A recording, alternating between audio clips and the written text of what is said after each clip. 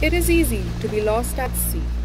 Miles of blue ocean, storms, and currents, and no one to help you out. Fisherfolk put their life at risk every single day when they go out into the sea in search of a livelihood. Their fragile boats may capsize or may drift away with engine failure. Yarranaidu was one such fisherman who was lost at sea.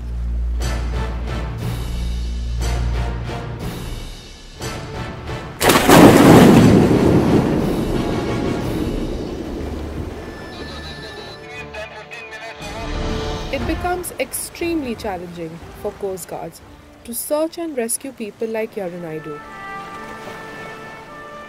In an effort to help fisherfolk, INCOIS, a scientific institute under the Ministry of Earth Sciences, has developed a tool acronymed SARAT. The Search and Rescue Aid tool uses the ocean state forecasts on ocean currents, waves, and winds to predict the probable location of missing object at sea.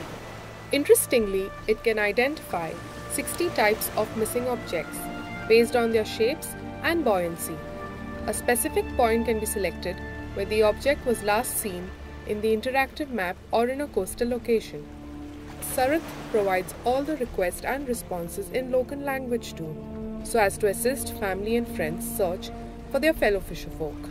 Over the past 15 years, the number of ocean state forecast users have grown to 2.42 lakh direct and 4.3 lakh indirect users. Today, Yarranaidu is a happy man, and so is his family. With growing awareness of Sarat's usage, it will not be long before it becomes a household name in coastal India.